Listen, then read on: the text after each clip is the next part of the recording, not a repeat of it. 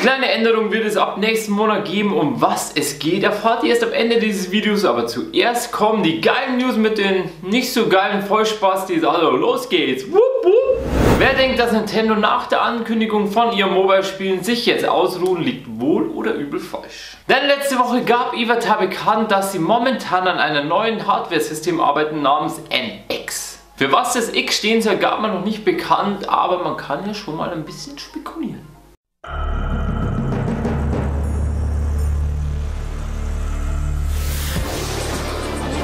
X-Faktor, das Unfassbare. Wir leben in einer Welt, in der Traum und Wirklichkeit nah beieinander liegen. In der Tatsachen oft wie Fantasiegebilde erscheinen, die wir uns nicht erklären können. Können Sie Wahrheit und Lüge unterscheiden? Dazu müssen Sie über Ihr Denken hinausgehen und Ihren Geist dem Unglaublichen öffnen. X-Faktor, das Unfassbare. Präsentiert von Jonathan Frakes. Macht keinen Sinn, oder? Ja, ja, nee. Egal. Im Rahmen der Pressekonferenz sagt er unter anderem auch, dass man bei diesem Gamesystem nicht nur die Hardware aufpoliert, denn das wäre ja schließlich langweilig. Man möchte die Leute überraschen und die Spielerweiterung auf ein neues Level bringen. Hat ja mit der Wii U am besten funktioniert. Genauere Details sollen erst nächstes Jahr kommen, aber man sagt schon, dass Nintendo NX mit der Wii U und dem 3DS das dritte Standbein der Firma werden soll. Da bleibt natürlich die Frage, ob man wirklich die Wii U weiter produzieren will bzw. andere Spiele rausbringen möchte. Denn wie man weiß, ist man mit der ordentlich gegen die Wand gefahren. Hit well left field. And Alex Gordon smashes into the wall. Und wenn man nun eine neue Konsole rausbringt, dann bitte gleich zum Release namhafte Spiele, denn das hat leider bei der Wii U richtig gefehlt. Wir hoffen mal, dass sie dieses Mal nicht auf die Schnauze fallen, denn wir wollen weiterhin Super Mario und Co. auf den Konsolen zocken. Online-Survival-Game Rust hat ein neues Update erhalten, in dem sie, wie es scheint, dem Rassismus den Kampf ansagen möchten. Neben Verbesserungen der Performance und der Gebäude sowie Problembehebungen beim Ragdoll-System und Änderungen beim Nebel bringt der neue Patch auch eine weitere Neuerung mit sich. Ab sofort wird jedem Spieler eine zufällige Hautfarbe zugewiesen, so nach dem Motto des Lead-Designers Gary Newman, der in einem Blog sagte, du bist, was du bist. Oder du bist, was du isst. Hippo!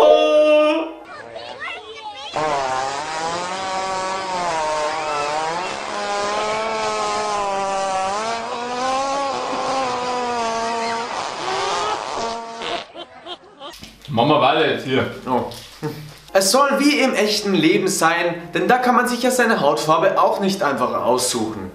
Also, sei denn man heißt Michael Jackson.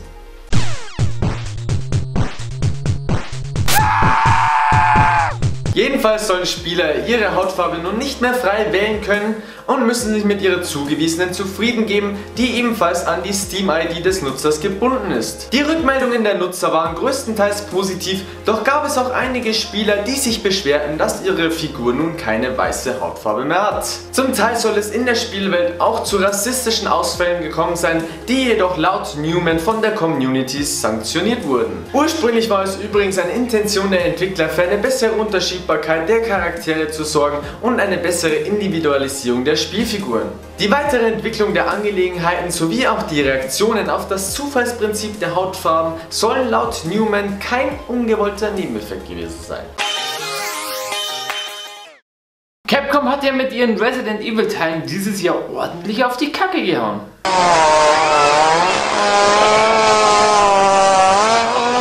Die Remastered Edition vom ersten Teil kam ja eigentlich recht gut an. Ja, wie machst du denn das? Du bist so behindert, ey. Hier ist mein Snickers, komm mal klar.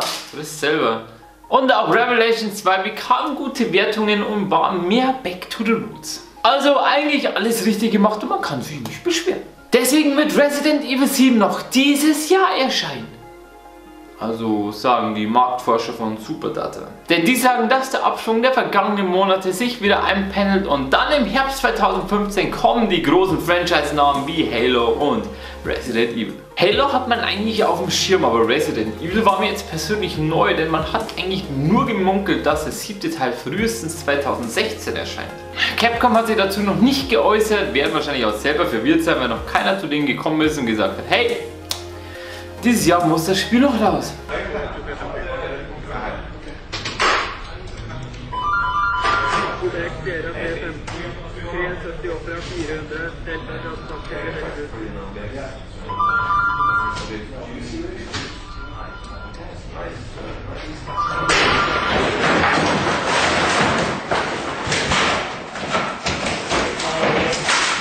Superdata hat aber auch angekündigt, dass dieses Jahr noch Call of Duty Black Ops 3 rauskommen soll, obwohl die Spekulationen mehr auf World War 2 liegen. Ob dieses Jahr wirklich ein neuer Resident Evil Teil rauskommen wird, halte ich persönlich für unwahrscheinlich, da man für 2016 auch noch Spiele benötigt und zwei Resident Evil Spiele für 2015 die reichen uns. Trotz allem hätten wir unheimlich Bock drauf und sind gespannt, was Capcom zu diesem Gerücht noch sagen wird. Wieder ein paar angebliche Erscheinungstermine für ein paar richtig geile Games aufgetaucht. Zwar ist es schon eine Zeit lang bekannt, dass Spiele wie Rainbow Six Siege und Halo 5 noch dieses Jahr erscheinen sollen, einen genauen Release-Termin gibt es jedoch bisher noch nicht. Nur wenn man jetzt einigen Versandhäusern Glauben schenken möchte, könnte sich das geändert haben. So hatte zum Beispiel der Online-Händler GameStop Italia für Rainbow Six Siege den 16. Oktober 2015 als Release eingetragen kurz darauf wieder entfernt. Aber auch Amazon Spanien hat sich mal wieder einen Fehler erlaubt, was ja nicht das erste Mal wäre. Was genau an den Termin jetzt dran ist, Tja, dazu hat sich leider noch keiner der Publisher geäußert. Vielleicht wird man ja auf der E3 bald mehr erfahren. Eins kann man jedoch schon sicher sagen und zwar wird The Legend of Zelda für die Wii U nicht auf der diesjährigen E3 präsentiert und auch das Release-Datum wurde auf 2016 verschoben. Schade, schade.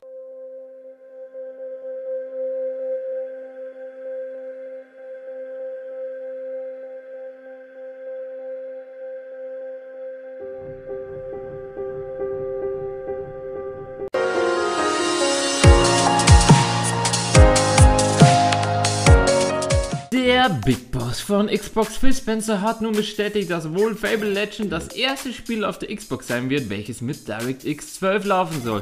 Das werden wir uns ja direkt holen.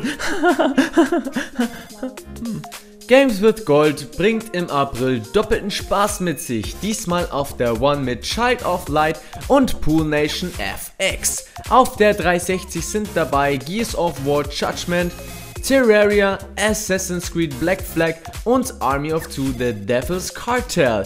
Dankeschön! Welche Spiele für PlayStation Plus geben wird, steht allerdings noch nicht fest, außer War Day für den PS4 und Dishonored für die PS3. Haben wir diesen Monat ordentlich was zu zocken, wa? Ja. Electronic Arts haben ein Doppel-EP-Wochenende für Battlefield Hardline vom 26. bis zum 30. März angekündigt. Und ihr meint echt, damit könnt ihr die ganze Scheiße wieder gut machen, ja? Herzlich willkommen zu der Endcard. Wie wir schon am Anfang gesagt haben, wird es eine kleine Ankündigung geben. Und zwar werden wir jetzt unsere Videos verkürzen, ja, nennen wir es verkürzen, und zwar von vier News auf zwei, weil wir jetzt ein paar Kritikpunkte bekommen haben, was wir besser machen können und das war auf jeden Fall unsere Videos kürzer. Und die kommen jetzt nicht nur immer sonntags um 18 Uhr, sondern wird jetzt auch Montag 18 Uhr umgestellt. Hoffe, es wird für euch kein Problem sein, aber wir werden es sehen. Genau. Und wenn euch das Video jetzt gefallen hat, dann schaut doch auch mal auf Facebook vorbei, lasst ein Gefällt mir da, kommentiert unser Video. Oder ihr abonniert einfach mal diesen Kanal, könnt auch gerne unseren Kanal Bunze Bunze abonnieren. Und wenn ihr noch mehr News haben wollt, dann schaut doch mal in Facebook in die Xbox One News Germany Gruppe. Genau, und wir hoffen, ihr habt trotzdem einen wunderschönen Sonntag gehabt. Wir haben sie ja mit den Elefanten und so, ne? Cookies, Cookies gehen. Und wir sehen uns hoffentlich dann nächsten Montag. Nicht mehr Sonntag, sondern montags. Und bis dahin noch ein kleines, wunderschönes Wochenende und Tschüssi!